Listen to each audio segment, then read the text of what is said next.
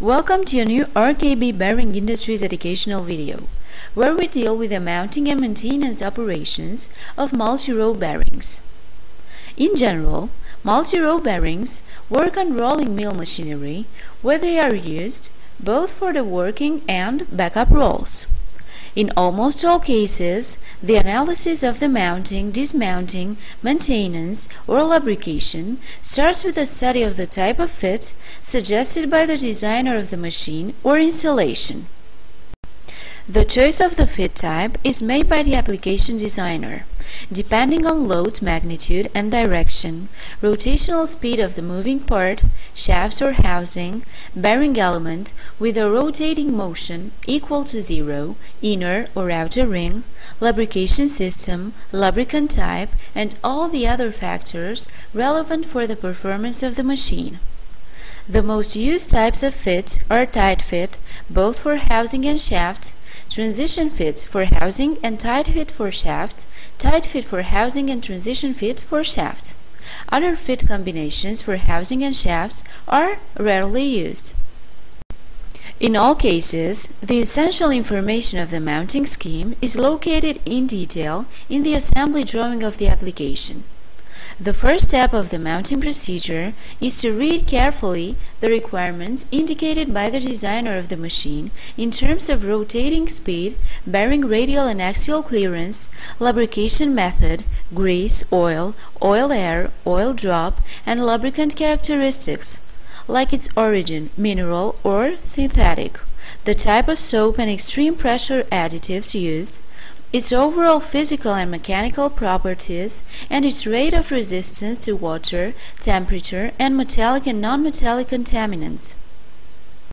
The second step consists of setting up all the tools in the working place necessary for the bearing mounting. The succeeding stage regards bearing lubrication. After marking, the bearing components are prepared to be greased. The necessary amount of fresh grease is divided into as many parts as the number of bearing elements. The grease is uniformly distributed on all bearing components, seals, raceways of outer and inner rings, and rollers. For RKB, it is absolutely forbidden to modify the lubrication scheme established by the machine designer without his prior written consent, and the new scheme setting the latest bearing clearances and installation details. In normal working conditions, the suggested volume of grease to be used, which varies with grease type and operating speed, is reported in these two tables, one for mineral grease and one for synthetic grease. After the greasing of bearing components is accomplished, the measuring procedure begins. For each measurement, it is necessary to use only devices periodically and metrologically checked and fixed. At least three axial and two radial measurements of the housing and shaft diameter are carried out. These dimensions are recorded and kept in the mounting sheet. Before bearing mounting, the shaft seat and chock are lubricated with grease or oil. RKB recommends the use of special tools to handle the bearing as a unit at installation into the chock. It is forbidden the use of any metallic tools that might damage the internal side of the bearing mechanically. The subsequent operations encompass bearing fitting into the chock, indirect check of bearing axial clearance, and pneumatic dynamometric installation of the screws. After all these procedures, the chock is ready for mounting on the shaft. The heating of bearings required to expand them and enable the mounting operations can be performed with some special induction systems or thermostatic oil bath devices, but never with oxyacetylene flame that might generate non-uniform heating and decrease the hardness of rings. After mounting on shaft or housing, we recommend protecting bearings against corrosion and impact by means of undamaged textile materials and never with plastic foils. In addition, we suggest not applying an excessive amount of grease to bearings because that can lead to damage due to overheating. Moreover, It is of paramount importance to recall, as a rule, that bearings at first use should not be washed. But for further washing procedure, they must be immediately preserved in a proper manner.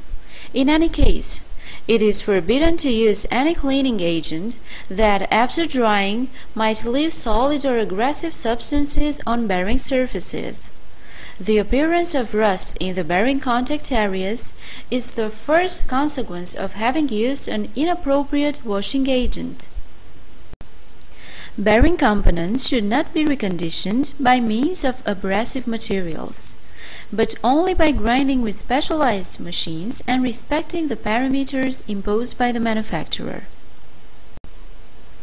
As far as preventive maintenance is concerned, it is possible to constantly check the status of bearings during their functioning by means of sound-based technology tools, thermal cameras, and vibration control devices.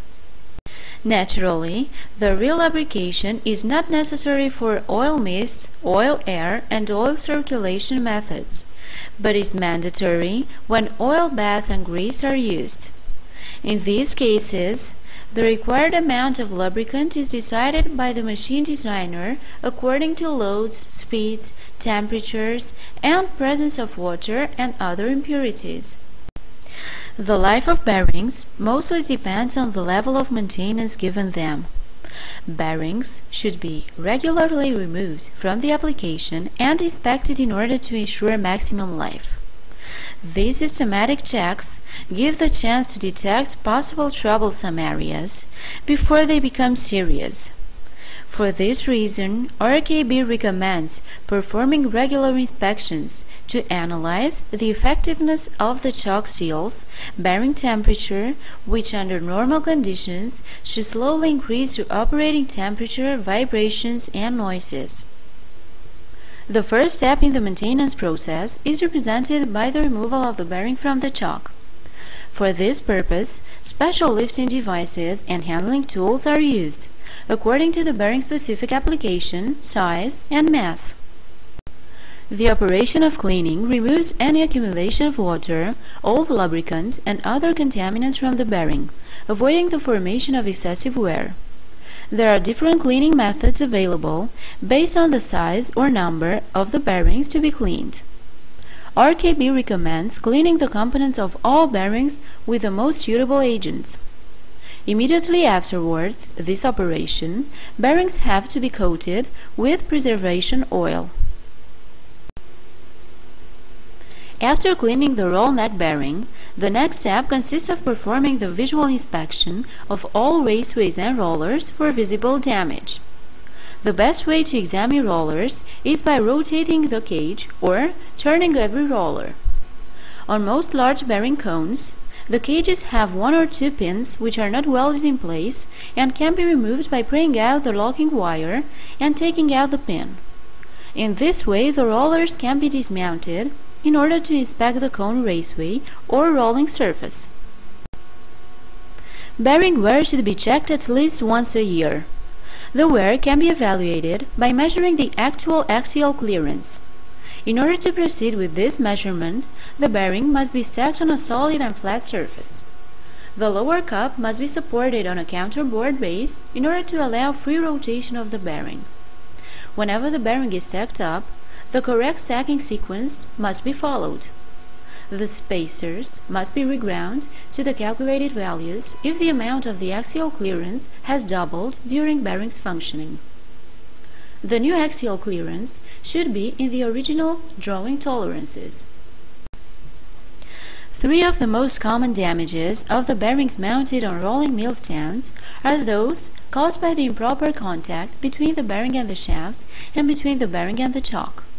Finally, the breaking of the rollers due to misalignment represents another important cause of rolling mill stands downtime. For further information on the bearings manufactured by the RKB Group, please refer to the related educational videos or directly contact our engineers.